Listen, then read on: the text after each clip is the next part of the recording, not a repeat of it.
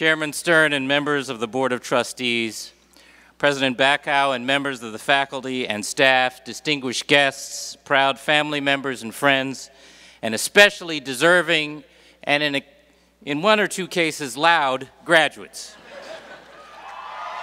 yeah.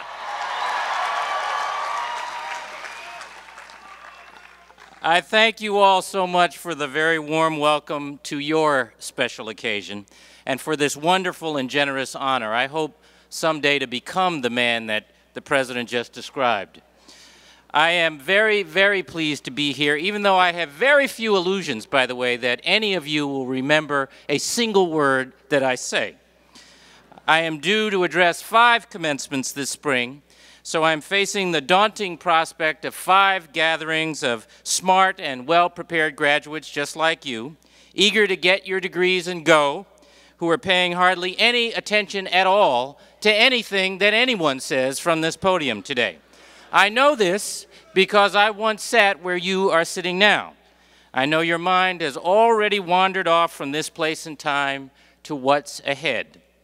And that is exactly as it should be for there is a lot to think about.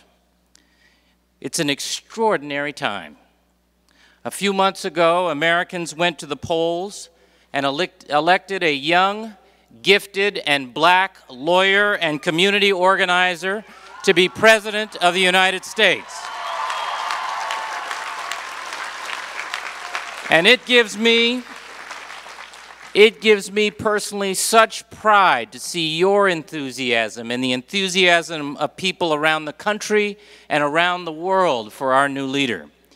I don't know how many of you were there in Washington on Inauguration Day, but the view from the platform where the governors get to see, sit was a thing I will not soon forget.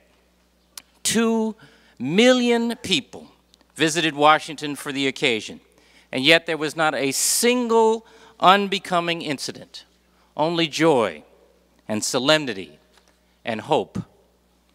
I think we will all look back on this time and recall in very personal terms where we were and what we were doing when it hit us that profound change was afoot. One moment of my own I will especially recall was at a dinner for governors at the White House in February. Now, it turns out that governors get invited to the White House every February for a very formal and elegant evening. And each of these occasions follows a certain pattern. First, there's a reception in the foyer, then a receiving line where you have your photograph made with your spouse and the President and First Lady in the blue room, then a multi-course dinner in the state dining room, and then entertainment in the East Room. The previous occasions with President and Mrs. Bush were no less elegant, but they did tend to move right along. We were all out and done with that and back in our cars around 9.15. This year, this year, there was a certain electricity about the occasion. This year, after dinner, we moved into the East Room to Earth, Wind, and Fire.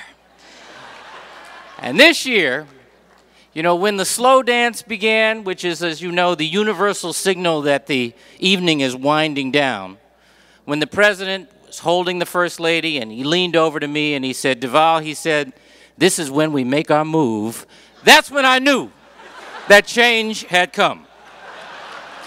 And yet,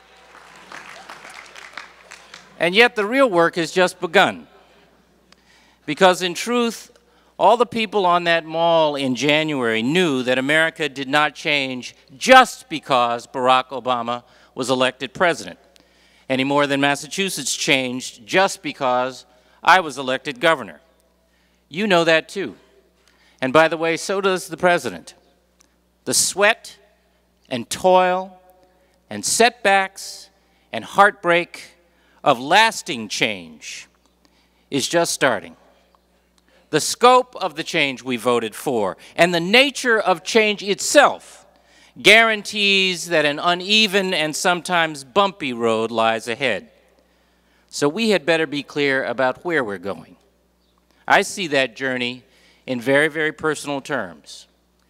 Our youngest daughter, Catherine, graduated from high school a couple of years ago. And sitting at her graduation, I couldn't help but reflect on the difference between her journey to that milestone and my own to the same milestone nearly 35 years before. I grew up on welfare on the south side of Chicago in my grandparents' two bedroom tenement. I shared a room there and a set of bunk beds with my mother and my sister. So you go from the top bunk to the bottom bunk to the floor every third night on the floor. I went to overcrowded and sometimes violent public schools. I can't think of a time when I didn't love to read, but I don't remember actually owning a book until I got my break in 1970 at age 14 to come to Massachusetts on a scholarship to boarding school. For me, that was like landing on a different planet. Now, Catherine, by contrast, has always had her own room. Most of that time in a house in a leafy neighborhood outside of Boston where I used to deliver newspapers when I was a student in boarding school. By the time she got to high school, she had already traveled on four continents. She knew how to use and pronounce a concierge. And she had shaken hands in the White House with the President of the United States. When Catherine was in kindergarten, her class was studying the changes in the seasons. Their homework assignment was to come home and describe to mom and dad the four seasons. So she proceeded to describe to us, by the way, in accurate detail, her several visits to the Four Seasons Hotel in Washington, D.C. She said, First you drive up and the doorman takes your car. Five years old. One generation. You understand? One generation. And the circumstances of my life and my family's life were profoundly transformed. Now, that story doesn't get told as often as we'd like in this country, but it gets told more often in this country than any other place on earth. That is an American story. That is who we are. Who we are is that simple idea that through hard work, tenacity, preparation, and faith, each of us has a chance at the American story. Well, that American story is at risk today. More and more families are working harder and still losing ground. Homeowners are losing their homes. Some 5.7 million people have lost their jobs in the last two years, and many of those their way and their hope. Every individual, family, business, and not for profit in nearly every corner of our country is hurting or worried that soon they will be. From mighty firms like General Motors and Lehman Brothers to small companies run by families, plans are disrupted, dreams are broken, the poor are in terrible shape and have been for some while. But the difference is that now the middle class is one paycheck away, one serious illness away from being poor and deeply anxious about it. That, beloved graduates, is the world you are about to inhabit. A society in many ways in anguish and an economy in crisis. And I want you to embrace it and embrace it all because crisis is a platform for change. Here at Tufts, you have been intentionally exposed to differences in thought and culture, to new ideas and new ways of thinking about old ideas, to wise and maybe sometimes odd professors and classmates alike, whose wisdom and oddities you may only have come to appreciate on the eve of this graduation. You have been trained to value service in the common good and to see leadership as service. You've been encouraged to imagine better tomorrows and then to reach for them, to be what I call pragmatic idealists. Well, the world needs pragmatic idealists today, in spite of the crisis around us, and maybe especially because of it because the world you are about to inhabit is filled in the same instant with extravagant beauty and utter devastation, with both glamorous comforts and abject suffering. With your training and credentials, you could choose, if you wanted, to spend your whole lives averting your eyes from the daily calamity of less fortunate souls and circumstances, focused exclusively on your own achievement or survival, or just locked, like so many impractical idealists I have known, in existential turmoil over why bad things happen to good people. Or you could look clearly at what's wrong, as pragmatic idealists do, and set yourselves to make it right. And by the way, we've done it before. An earlier generation, facing dangers abroad and widespread suffering at home, summoned American aspirations and answered a call to service and to sacrifice. And that generation, what we now call the greatest generation, fought and won the war, rebuilt Europe and Japan, built the federal highway system, great public universities and other institutions, expanded the middle class, and ignited the modern civil rights struggle. That generation, through their service and their sacrifice, made it possible for many of the rest of us to live the American story. Well, we need to answer that call again and renew our commitment to the American story. I ask you, out of this crisis, to make a change. Make an economy that expands opportunity out to the marginalized, not just up to the well connected. Make schools that ignite a love of learning in every child and that honor and support teachers. Make accessible and affordable health care a public good. Make streets and homes free from violence and a community that helps feed, clothe, and house our most fragile neighbors. Heal the planet.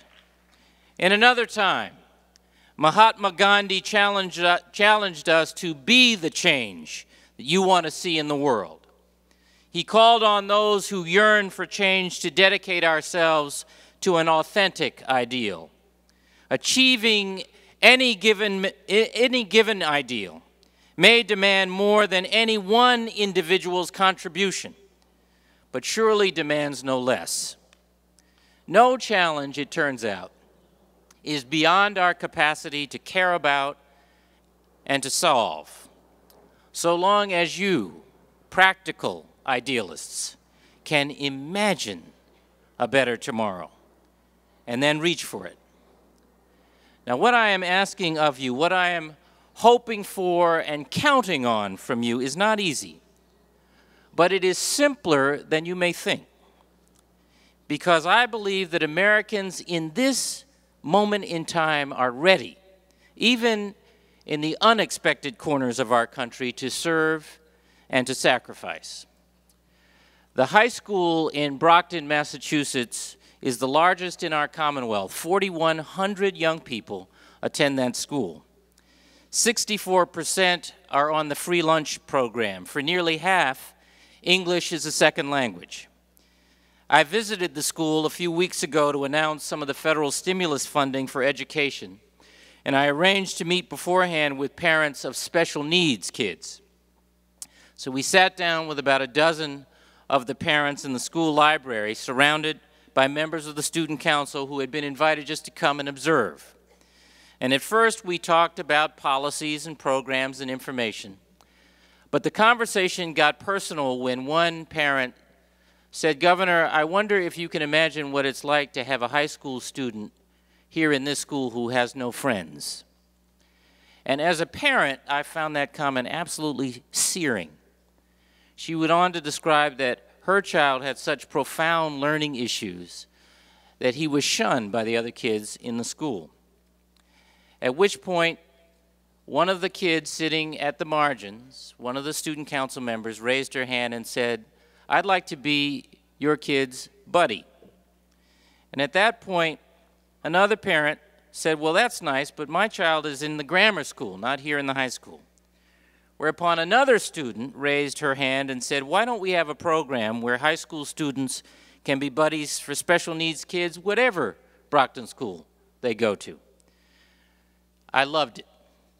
Now, the school superintendent had a kind of natural reaction. He started to wring his hands and worry aloud about how he could pay for such a program. And in these times of scarce resources, he said he wasn't sure he could. To which another student replied, We don't have to be paid.